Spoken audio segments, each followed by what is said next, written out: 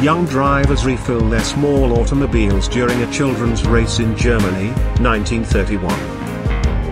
German theoretical physicist Albert Einstein during a lecture in Vienna, Austria, 1921. Brigadier General Douglas MacArthur inside a chateau in France, World War I, 1918. Barrels of naval guns at the Washington Navy Yard Ordnance Factory, 1917. General Alexei Kuropatkin, known for commanding the Russian Fifth Army in World War I, 1890s. Union soldiers at the front lines in Petersburg, Virginia, 1864.